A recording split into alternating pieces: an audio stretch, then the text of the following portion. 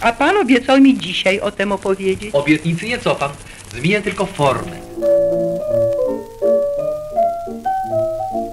Czy można wiedzieć, skąd panie wracają? My dostamy z wycieczki. Jest to dla mnie potrzebą serca, by przemówić do Was, drogie moje, a tak dalekie siostry.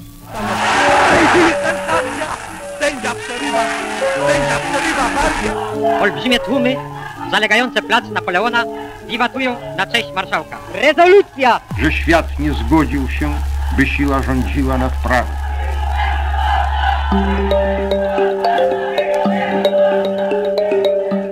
Wielkie historie. Podcasty.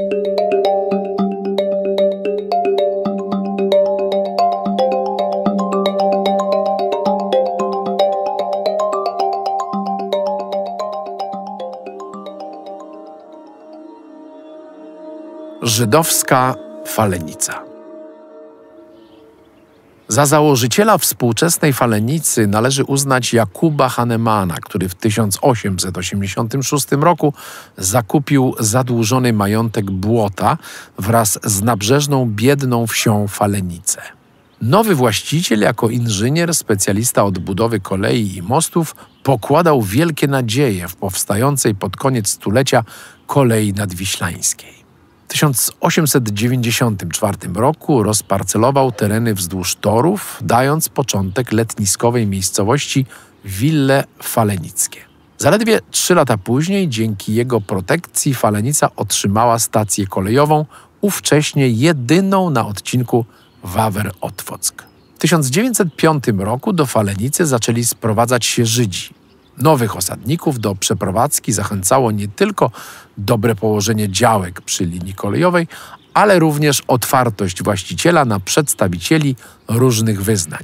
Hahnemann, sam będący ewangelikiem, przyjmował wszystkich protestantów, katolików, prawosławnych i, jak ówcześnie mówiono, starozakonnych, dając podwaliny wielowyznaniowej i wieloetnicznej społeczności Falenicy. Przed pierwszą wojną na stałe mieszkało tutaj 360 osób, głównie Polaków, Żydów i Niemców. Systematycznie wzrastał odsetek ludności żydowskiej, która w 1936 roku stanowiła już 66% mieszkańców, czyli 5300 osób. Spośród wszystkich letnisk wzdłuż kolei nadwiślańskiej Falenica stała się największym obok Otwocka ośrodkiem żydowskim o dużym znaczeniu religijnym, kulturowym, gospodarczym i oczywiście wypoczynkowym. Literacki portret żydowskiej Falenicy przedstawił w felietonie Isaac Bashevis Zinger. Wśród miasteczek położonych na linii otwockiej szczególnie wyróżniała się Falenica – w zamierzeniu miała być miłym letniskiem, ale w rzeczywistości była to brudna, zabłocona mieścina. Przyjeżdżali tam wyłącznie pobożni Żydzi. W Falenicy dziewczęta nie wdawały się we flirty, jak to często się zdarzało w innych miejscowościach letniskowych. Tutaj kobiety nosiły ciasne peruki i czepce, mężczyźni zaś zajmowali się modlitwą i studiowaniem tory. Często można było zobaczyć taki obrazek. Pod sosną Żyd, odziany w samą tylko koszulę, spod której wystaje tałes z jarmułką na głowie, głośno powtarza fragmenty Gemary, a wokół niego bawią się gromadki chłopców z długimi pejsami. W Falenicy mieszkali rabini, a nawet cadykowie i było tam wiele hasyckich domów modlitwy. Opis Zingera przywodzi na myśl stereotypowy obraz Sztetla, biednego i zacofanego miasteczka we wschodniej Polsce. Rzeczywiście zabudowa Falenicy była przede wszystkim drewniana. Przy nieutwardzonych ulicach znajdowało się sporo bieda domków i skleconych z desek letniaków, niezamieszkanych poza sezonem. Nie była to jednak cała prawda o Falenicy. Wielu zamożnych Żydów posiadało tu ładne domy, a bogacze z Warszawy kupowali obszerne działki pod letniska. To oni zatrudniali zarówno Polaków, jak i Żydów przy obsłudze domów letniskowych, w handlu, rzemiośle i piekarniach. Miasteczko żyło z żydowskich letników, których w sezonie przyjeżdżało nawet 6 tysięcy. Zamożniejsi zatrzymywali się w drewnianych willach i pensjonatach oferujących pełne wyposażenie i utrzymanie. Biedniejsi zadowalali się pustymi pokojami bez mebli i wygód. Stwierdzenie Zingera, jakoby w miasteczku można było napotkać jedynie pobożnych Żydów, również należy potraktować jako zabieg literacki. Choć w Falenicy mieszkało wielu ortodoksów i hasydów, to tutejsza społeczność była bardzo zróżnicowana, szczególnie pod względem upodobań politycznych. Działały tu organizacje syjonistyczne, socjalistyczne i komunistyczne. Pośród nich Poalej Syjon, PPS Prawica, Robotniczy Bund, Liga Pomocy Pracującym w Palestynie czy Żydowska Partia Ludowa. Najwięcej członków zrzeszały organizacje syjonistyczne agitujące za emigracją Żydów i budową państwa narodowego w Palestynie. Nad wychowaniem młodzieży w duchu wartości humanistycznych i kultury hebrajskiej czuwała lewicowa Gardenia, zaś do pracy w Palestynie przygotowywały Hechaluc oraz skautowska Hashomer Hacair. Wspierał je Ruben Najwer, właściciel miejscowego tartaku organizujący obozy kondycyjne dla chętnych do pracy fizycznej. W 1935 roku wielu młodych syjonistów wyjechało do Palestyny, dzięki czemu uratowali życie. Spacer z mapą pamięci. Drewniana zabudowa żydowskiej falenicy uległa niemal całkowitemu zniszczeniu podczas II wojny i zaraz po niej. Miasteczko pozostało przede wszystkim we wspomnieniach, literaturze i na nielicznych fotografiach. Wojnę przeżyło około stu faleniczan żydowskiego pochodzenia. Ich relacje ocalił od zapomnienia Dawid Sztokwisz, wydając w Tel Awiwie Księgę Pamięci Walenicy zawierającą 500 stron wspomnień i nekrologów. W książce znalazł się plan Falenicy, niezwykły, bo narysowany odręcznie przez ocalonych. Plan pozwala wyobrazić sobie topografię przedwojennej żydowskiej Falenicy, a zarazem złożoność i różnorodność jej społeczności. Odnajdziemy na nim domy trzech rabinów, starą i nową mykwę, czyli łaźnię rytualną, synagogę i uczelnię talmudyczną, rzeźnię koszerną, sanatoria, siedziby żydowskich związków zawodowych, rzemieślniczych i syjonistycznych organizacji.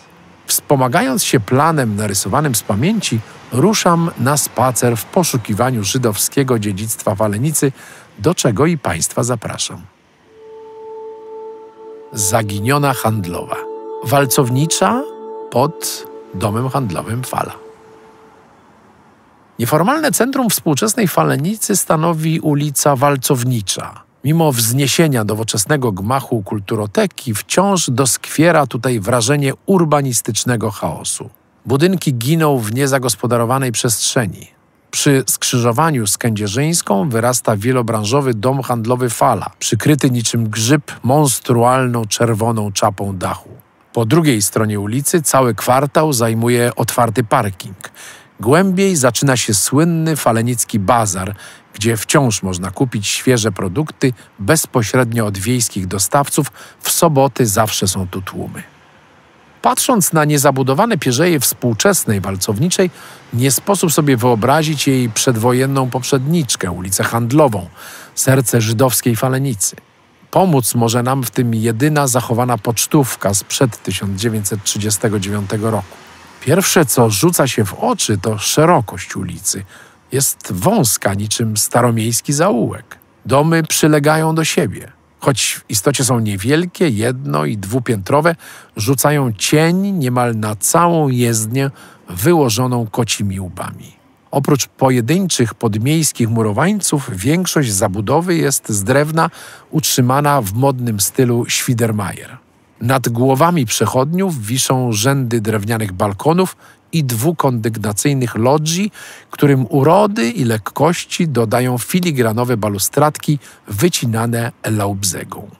Nieco egzotycznego wrażenia dopełniają liczne szyldy, uchylone drzwi do sklepów, markizy chroniące przed letnim skwarem i załatwiający sprawunki interesanci. Wśród nich oczywiście znajdują się wczasowicze. W prawym górnym rogu pocztówki uwagę przyciąga znacznych rozmiarów okrągły zegar. To reklama zakładu zegarmistrzowskiego Izaaka Ringa. Przy handlowej funkcjonowały dziesiątki niewielkich żydowskich biznesów. W 1939 roku pod szóstką sklepik prowadził Jakub Minc. U Goldsteina pod osiemnastką można było dostać materiały budowlane i wyroby z metalu. Z kolei nabiał kupowano u Jankiela Latawickiego. Królowały przede wszystkim piekarnie. Na całej ulicy unosił się zapach świeżego pieczywa, chałek i obwarzanków. Handlowa w tym kształcie przetrwała do początku wojny. Większość drewnianej zabudowy spłonęła już 19 września podczas bitwy o Falenicę. Zniszczoną ulicę włączono do falenickiego getta zlikwidowanego w sierpniu 1942 roku. Po wojnie cudem zachowane domy uległy dewastacji, stały się naturalnym źródłem do pozyskania materiałów budowlanych. Ostatni z nich został rozebrany w 1997 roku. Starsi mieszkańcy wspominali, że należał do niejakiego Steinberga, właściciela mleczarni. Więcej szczęścia niż handlowa miało jej przedłużenie po drugiej stronie torów, czyli obecna ulica Młoda. Wzdłuż niej najlepiej zachował się małomiasteczkowy układ urbanistyczny z niewysokimi kamieniczkami, murowanymi, zatem mniej łatwopalnymi. Synagoga przy Bambusowej 9. Idąc ulicą Bambusową na północ, po prawej zauważymy zgrabne domki jednorodzinne, zwieńczone tradycyjnym dwuspadowym dachem. Zostały wzniesione przez falenicką spółdzielnię na początku lat 50. w miejscu opuszczonych drewnianych domostw pożydowskich. Po drugiej stronie ulicy, pod numerem 9, dominuje zwalisty dwupiętrowy blok mieszkalny na planie prostokąta zaskakują arkadowe okna na parterze, zupełnie nieprzystające do otworów o standardowym wykroju na wyższych kondygnacjach. To efekt bezceremonialnej przebudowy z lat 50. Przed wojną mieściła się tutaj największa falenicka synagoga, jedyna murowana. Budynek wzniesiono w latach 30., wtedy jeszcze przy ulicy Nowej. Miał służyć Żydom ortodoksyjnym. Modernistyczna architektura bożnicy, nieprzystająca do tradycyjnych wzorców, wzbudziła podobno niemałe kontrowersje wśród konserwatystów. Przy synagodze znajdowała się uczelnia talmudyczna. Falenica była ówcześnie bardzo prężnym ośrodkiem myśli religijnej. Działało tu parę szkół rabinackich, które konkurowały ze szkołą rabinacką w Otwocku. Być może stąd pochodzi funkcjonujące w polszczyźnie do dziś powiedzenie są dwie szkoły, falenicka i otwocka oznaczające dwa różne, czasem przeciwstawne rozwiązania w drodze do osiągnięcia zamierzonego celu. W miasteczku bardzo silny był również nurt hasydyzmu. Hasydzi modlili się w licznych bożnicach. Beit Hamidrasz Hasydów z Parysowa, Hasydów z Grodziska, Góry Kalwarii, Aleksandrowa i Kołbieli. Siedzibę Falenicy miał również słynny cadyk Abraham Moshe Kalisz z Warki, do którego rok rocznie pielgrzymowało wielu wyznawców. Opis atmosfery szabatu w żydowskiej części dzielnicy znajdujemy w Księdze Pamięci Falenicy. Gwarna i ludna dzielnica żydowska cichła w piątek po południu. Szykowano się do szabasu, święta soboty. Wszyscy szli do mykwy, kąpieli rytualnej. Kobiety i dziewczęta szykowały czulent, potrawę szabasową i zanosiły ją do piekarni. O zmierzchu mężczyźni szli na modły do bożnicy. Po odśpiewanych modlitwach wracali do domów i po odśpiewaniu modlitw przy płonących świecach spożywali kolację z obowiązkową rybą i chałą. Po kolacji mężczyźni wracali do bożnic czytać Torę. W sobotę rano zapełniały się bożnice. Zbierano datki na biednych i chorych. Po południu szło się na spacer piątek i sobotę nie chodziło się do kina ani do teatru. Nie wolno było używać pieniędzy. Wieczorem w okolicy obecnych ulic Bestrzyckiej i Frękla słychać było piękny śpiew kantora. Śpiew kantora nieprzypadkowo rozbrzmiewał przy dzisiejszej ulicy Frękla, dawnej krótkiej, bowiem i tu znajdowała się drewniana synagoga. Budynek Mykwy stał jeszcze niedawno przy przecznicy bambusowej, ulicy Kłodzkiej, przedwojennej Cichej. Po wojnie mieściła się w nim łaźnia publiczna, następnie piekarnia i wreszcie pomieszczenia biurowe. Został rozebrany parę lat temu. W trosce o słabszych. Lokalna 51 łamane na 53. Wśród Żydów, chyba jeszcze mocniej niż wśród chrześcijan, podkreśla się obowiązek jałmużny, pomocy chorym, biednym i słabszym członkom wspólnoty. Stąd w każdym mieście żydowskim wielość instytucji charytatywnych i ośrodków pomocy społecznej. W Falenicy jednymi z nielicznych solidnych murowanych budynków były dom opieki, sanatorium i sierociniec. I to właśnie one przetrwały wojnę. Jednak najsłynniejsza ze wszystkich falenickich instytucji charytatywnych powstała po wschodniej stronie torów na pograniczu z Miedzeszynem przy przedwojennej ulicy Wiązowskiej, obecnie lokalnej 51 łamane na 53.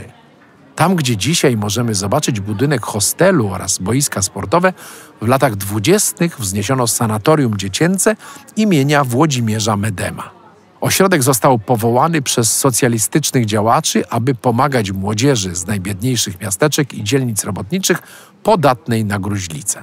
Sanatorium zajmowało spory obszar zalesionej wydmy, a jego najważniejsze obiekty stanowiły dwa budynki. Murowany pawilon główny przypominał duży parterowy dwór. Przed fasadą wznosił się imponujący dwukondygnacyjny ganek taras, wykorzystywany jako miejsce letnich posiłków. W budynku były sale szkolne, pracownie naukowe, sale do ćwiczeń i jadalnia. Obok dworku stał duży budynek drewniany o przeszklonych werandach, utrzymany w stylu nadświdrzańskim. Mieściły się w nim wieloosobowe sypialnie. Sanatorium miało być czymś więcej niż placówką leczniczą. Miało wychowywać. Oprócz regularnych zajęć szkolnych, dzieci mogły wybierać kółka zainteresowań, w tym kółka artystyczne oraz korzystać z biblioteki. Naukę prowadzono głównie w idisz. Życie w sanatorium pomagały organizować dziesięcioosobowe, wybierane demokratycznie dziecięce samorządy. Jak wspominał jeden z podopiecznych sanatorium, Marek Edelman, w ten sposób uczono ich funkcjonowania w demokratycznym społeczeństwie. Wychowawcy pragnęli zmienić świadomość młodzieży, zaszczepić zahukanym dzieciakom wychowywanym w ortodoksyjnych środowiskach żydowskich chęć zostania pionierami walki o lepszy, socjalistyczny świat. W tym duchu misję sanatorium przedstawiał film Aleksandra Forda Droga Młodych, nakręcony w 1936 roku, który rozsławił placówkę daleko poza granice Falenicy, Warszawy, a nawet Polski. Budować lepszy świat było dane niewielu wychowankom.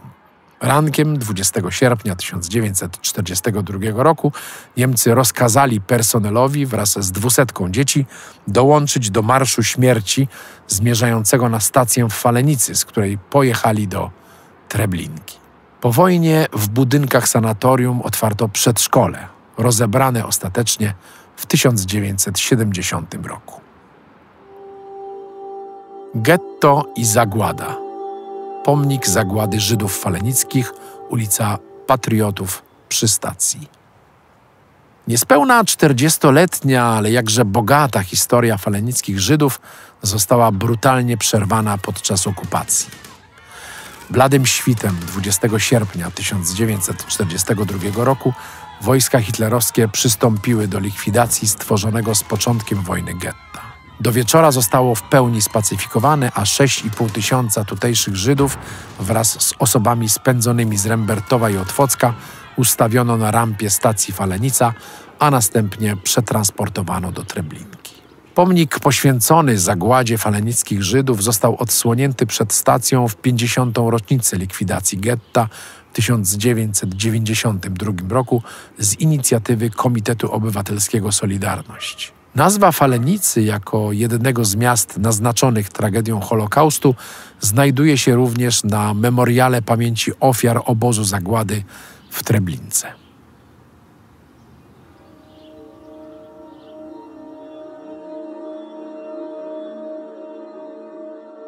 Historie wawerskie opowiedział dla Państwa Cezary Żak. A pan obiecał mi dzisiaj o tym opowiedzieć. Obietnicy nie cofam, zmienię tylko formę. Czy można wiedzieć, skąd panie wracają? My wracamy z wycieczki. Jest to dla mnie potrzebą serca, by przemówić do was, drogie moje, a tak dalekie siostry.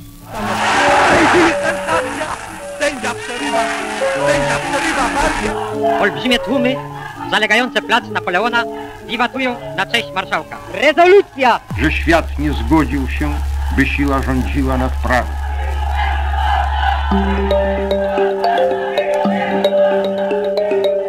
Dziękujemy za wysłuchanie podcastu Fundacji na Rzecz Wielkich Historii. Zapraszamy po więcej na www.wielkiehistorie.pl.